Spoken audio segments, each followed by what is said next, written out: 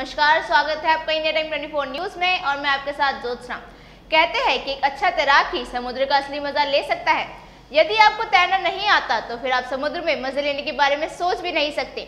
लेकिन आज हम आपको एक ऐसे समुद्र के बारे में बताने जा रहे हैं, जहाँ तैराकी न जानने वाले भी तैर सकते हैं और समुद्र के लुत्फ उठा सकते हैं। खास बात यह है कि समुद्र में आप चाहकर भी डूब नहीं पाएँगे। जी हाँ ये समुद्र जॉर्डन और इसराइल के बीच स्थित है। और इसे डेड सी के नाम से जाना जाता है। ये समुद्र दुनिया की सबसे गहरे खारे पानी की झील के रूप में प्रसिद्ध है।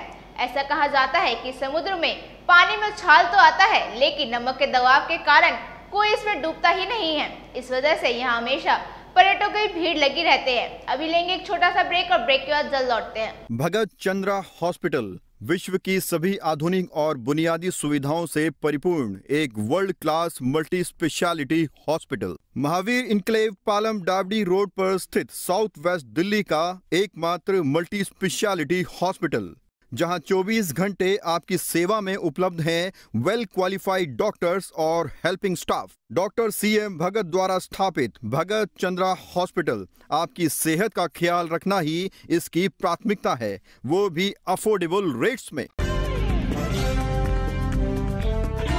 ब्रेक के बाद आपका स्वागत है। दरअसल डेड सी समुद्र तल से करीब तेरह फीट नीचे, पृथ्वी के सबसे निचले बिंदु पर है। साथ ही ये समुद्र करीब तीन लाख वर्ष पुराना है।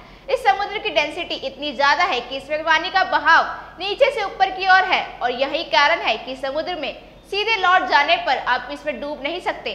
डेड सी नाम के पीछे की सबसे बड़ी वजह यह है, इसका खारा पानी।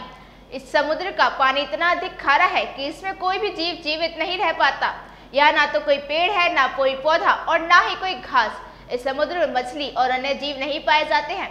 इसके पानी में potash, bromide, zinc, sulphur, magnesium और कैल्शियम जैसे मिनरल सॉल्ट भी काफ़ी मात्रा में है, जिसकी वजह से इससे निकलने वाले नमक का इस्तेमाल नहीं किया जा सकता।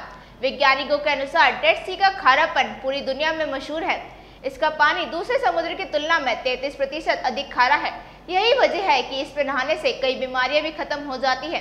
साथ ही इसमें मिलने वाली मिट्टी का इस्तेमाल भी बहुत फ़ायदेमंद होता है। इसकी मिट्टी का इस्तेमाल कई ब्यूटी प्रोडक्ट्स बनाने में किया जाता है। इस खबर में फ़िलहाल इतना ही। देश और दुनिया की तमाम खबरों के लिए बने रहिए हमारे साथ और देखते रहिए इंडिया टाइम 24 न्यूज़। नमस्कार। खबरों से खबरदार रहने के लिए चैनल को सब्सक्राइब करें और प्रेस करें बेल आइकन।